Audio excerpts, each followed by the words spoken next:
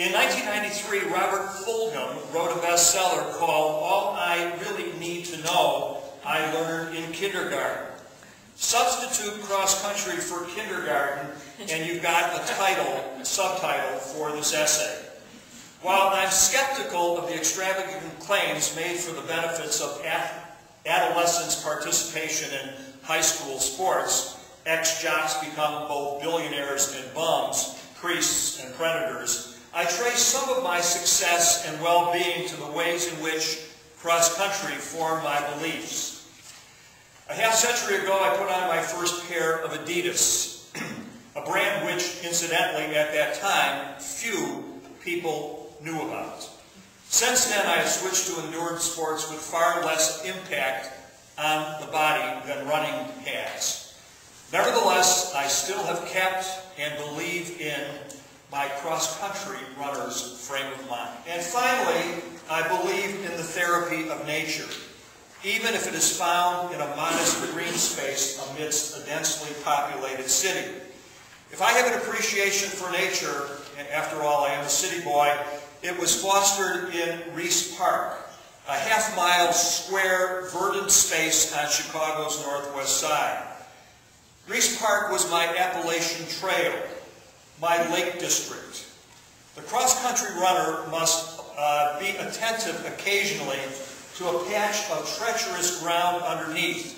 But for the most part, he or she can enjoy the wide panorama, the visual pleasure that even a modest and well-trod park like Riis provides. In order to be with God has transformed into a spirituality as connection with the world, others, my own humanity,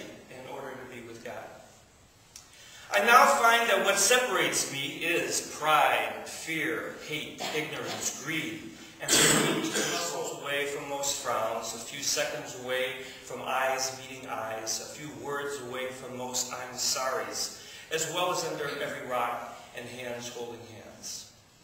I still understand God as more mystifying than ever. Though special books and buildings guide me toward God, they can never imprison God with their covers or their walls. My grandmother's broken English advice to army, pay attention, has served me well. My decision was mostly one of need. I needed a degree and a job, and I thought maybe people like Michael needed somebody on their side. Took a job in elementary school in South Elgin, and found out that it was more than I had ever believed it could be. My first day in that school, I found children who didn't look like me, didn't act like me, and didn't speak like me. I fell in love with them. I I can make a difference.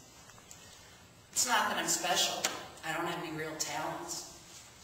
And I'm not even particularly altruistic. I've discovered that how you make a difference isn't always what and when or what you want it to be. I didn't go to the holes of need the tsunamis or the hurricanes, those awful things that everyone has that they have to put up with. I didn't go there to help. Me, when I make a difference, I fall in the holes of need. I believe that words and the way that they are constructed can be more powerful than any other entity When